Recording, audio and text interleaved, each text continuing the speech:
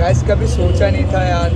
ऐसे इसको छोड़ नहीं जाना पड़ेगा मुझे अर्जेंट में। सेफी को देख के रोई एक खूबसूरत सी लड़की।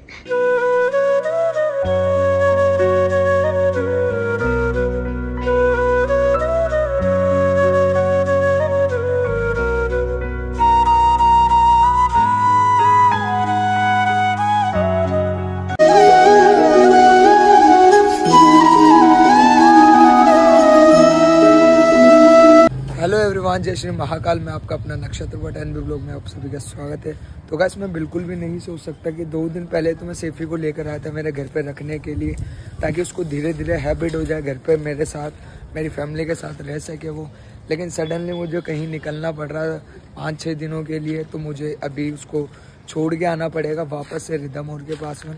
क्योंकि मुझे पता है मेरे बाद में वही लोग हैं जो उसका अच्छे से ध्यान रख सकते हैं और उसकी केयर कर सकते हैं। तो अभी मैंने ऑलरेडी गाड़ी वगैरह बुक कर ली है ओला से ऑटो किया है। अब ऑटो आता है, फिर सेफी को लेते हैं, और फिर डायरेक्ट आप लोगों से ऑटो में मिलते हैं कैसे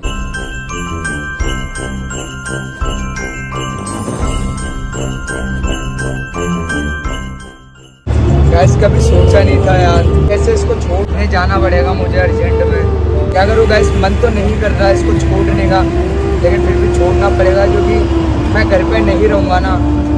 तो इसकी केयर कौन ही करेगा, आपको पता है। वो लेकिन मेरा मानना ये है, इंसान से ज़्यादा वफादार जानवर होते हैं। जब इनकी ज़रूरत होती है ना तो ये अपना फ़र्ज़ ज़रूर निभाते हैं। उसकी उसकी हकीकत बात है, कभी आप लोगों ने भी ये चीज़ नोट की होगी। छः महीने पहले हम लोग इसको बचपन में लेकर आए थे। और दोस्त के घर पे था उस टाइम भी, लेकिन थोड़े टाइम के लिए दे रहे हैं। बात देखते हैं, अपन जब कहीं टूर का प्लान होगा, तब इसको लेकर आएँगे और अपने साथ में ले जाएँगे बिल्कुल। मैं आप लोगों को बयां भी नहीं कर सकता किस तरह से मुझे बुरा लग रहा है, लेकिन क्या कुछ चाह के भी कुछ नहीं कर सकते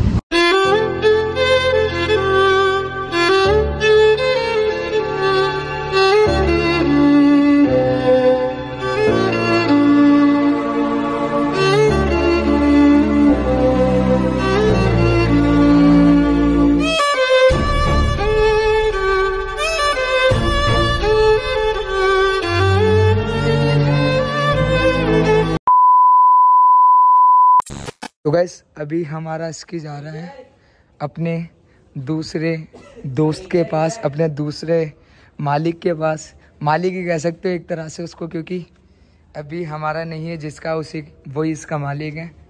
तो कोई ना, थोड़े टाइम की बात है, फिर अपने साथ में राइड पे निकलेगा अपना भाई। सैफी? हाँ बहन, भाई, जो भी है। है सैफी? चलेंगे ना तू मेरे साथ राइड पे? हाँ जी तो दोस्तों अभी एंजल नीचे आ रही हैं और उसको हम लोग सरप्राइज़ देंगे उसको बोलेंगे हम लोग के केवल मज़ाक कर रहे थे तुझे नीचे बुलाने के लिए। ये रिदम ने पूरा प्लान सेट कर लिया है लेकिन इसने एक पहले पागलपंती की इसने पहले बता भी दिया था उसको कि हम लोग लेके आ गए तेरे लिए। तो अब उसे बोल देंगे कि ओनली फॉर मज़ाक कर रहे हैं कोई नहीं आया ऐसे ही। लेकिन उसकी एक्साइटमेंट देखना कितनी रहेगी इसके लिए क्योंकि वो मेरे बाद में रिदम के बाद में वही है जो इसका ख्याल रखती है और इसका इससे बहुत ज़्यादा प्यार करते हैं, क्योंकि वो भी एक एनिमल लवर है, उसको चाहे चिड़िया वगैरह कुछ भी दे दो, या फिर केट दे दो, उसके अलावा डॉग दे दो, या फिर कोई सा भी जानवर दे दो, जो उसके कंफर्टेबल जोन में आता है, वो सारा उसको पालने की कोशिश करते हैं, उनको अच्छे से रखने की कोशिश करती है। तो thank you so much Angel अगर आप मेरा ये व्लॉग देख रही हो, और मैं मेरी अमानत आपके पास छोड़ के जा रहा हूँ एक बार फिर से। देखते क्या होता है क्या नहीं होता। और इधर देखो ये दो दो अस्की और ये कौन सा है? अरे कहना क्या चाहते हो? बहुत तेज हो रहा है रिदम खेल रहा है इसके साथ। सेफी विथ रिदम। एंजल को बिल्कुल भी पता नहीं है क्या सिस्टम चल रहा है। हमें देखा देखा ऐसे प्रैंक कर देता थोड़ा सा। प्रैंक हो गया। कैसा लगा मेरा मज़ाक?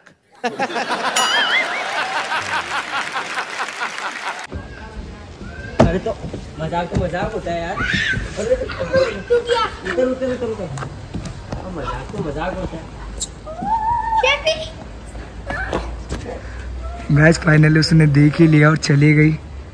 क्योंकि गलत जगह पे हम लोगों ने बांधा था इसको। तो ऑब्वियस सी बात है मिलने का तो था ही थे। और रोने लगी। एंजल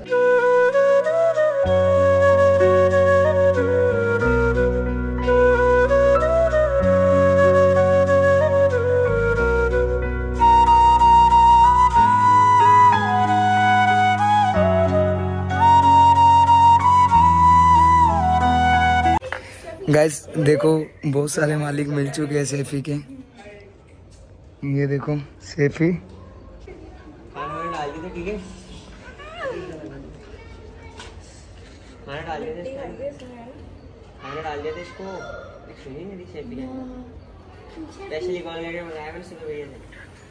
है है बिल्कुल भाई। तब मैं रख रहा हूँ। खूबसूरत सी रो, लड़की रोने लगी है कुत्ते के लिए। भाई तेरे तो मत रो। कुत्ते के लिए जोलू. वे टेंगी. कौन सा टिंगी टिंगी आ गए पे जोलू. थोड़ी है आओ इधर चलो. झुलू बाबू भैया अगर आप ये मेरा ब्लॉग देख रहे हो तो देखना ये आप ही का जूलू है ना? बस उसका ब्राउन कलर है इसका व्हाइट कलर है लेकिन ये थोड़ा नटखट ज़्यादा है। दो बजे। हैं? लेके रख रख तू रखा भी तो टेंशन मत कर। हाँ। अभी तो रख रहे मैं तो उनसे मिला भी हुआ हूँ। किससे मिले हो आप? बाबू भैया। बाबू भैया का पूरा नाम क्या है? हाँ, मेरे को ये समझ नहीं आता बाबू भैया की वो वाली वीडियो जिसमें वही सेफी। जिसमें उनने नंबर प्लेट ही निकाल ली थी पर है ना? मस्टैंग हाँ। बाबू भैया कह रहे थे ये। क्या कह रहे? जिसका नंबर प्लेट निकालने की क्या ज़रूरत सही बात। गाड़ी लेके चल सही है। एंजल एक दिन में कमज़ोर हो गई यार रो रो के है ना सेफी। ये किस पे भौंक रहा है अब ये मेरे पास ही रहेगी। नॉट परमानेंट पर मैंने अबे परमानेंट नहीं। अबे रुक खींच लेगा। तो खींच ले। सो गाइस फाइनली अभी हम लोगों ने एंजल को और रिदम को हैंड ओवर करवा दिया हमारा सेफी को। और अब हम लोग भी निकलते हैं क्योंकि फिर किसी नेक्स्ट ब्लॉग की भी हमें तैयारी करनी बहुत जल्दी आप लोगों को मिल जाएगा वो भी। और इधर देखो, ये जूलू के साथ खेलने में मज़े लेकिन वैसे उसका नाम जोजो है, लेकिन मैं प्यार से बाबू भैया का डोगी है ना, जो जूलू, वो कहता हूँ उसको, वो ब्राउन है, ये वाइट है, बस फ़र्क ही है। और इधर हमारा अस्की इसे रिदम कहते हैं। क्या बोलते हैं इसे? अस्की का ओनर ओनर अच्छा। और इधर रिदम भाई और ये छोटा शैतान लड़का ये बहुत ज़्यादा शैतान है, इससे थोड़े से बच के रहना। सारे के सारे। है। कौन सा है? गाइस भाई के चैनल को सब्सक्राइब करो तेजू गेमिंग के नाम से। सो so, फाइनली दोस्तों अभी एंजल को मैं हमारा इसकी आई मीन सेफी दे के आ चुका हूँ। और टाइम मैं इसको रखा तो मन तो नहीं कर रहा था उन लोगों को देने का। बट यार, वो लोग भी एकदम बच्चे की तरह इसको पालते हैं और इसकी देखभाल करते हैं। तो मैंने सोचा, क्यों ना उनको दे दिया जाए अभी थोड़े टाइम के लिए और वो लोग उसको आराम से रख लेंगे और मेरे को भरोसा उन लोगों पे, वो अच्छे से उसकी केयर कर सकते हैं। जैसे अपने डॉग्स के वो लोग करते हैं, उन दोनों को अच्छे से मैंने समझा दिया। डाइट फ़ूड वगैरह उनको वैसे भी पता है, क्योंकि मेरे बाद में वही लोग हैं, जब मैं स्टार्टिंग में लेकर आए थे यहाँ फ्लेट पे तो वो लोग रख रहे थे, अच्छे से उसकी देखभाल कर रहे थे। तो अगर एंजल एंड रिदम आप लोग मेरा ब्लॉग देख रहे हो तो थैंक यू सो मच यार। आप लोगों ने मेरी हेल्प की और उसको रखने में भी मेरी हेल्प की तो thank you so much once again thank you और अभी हम लोग निकलते घर के लिए।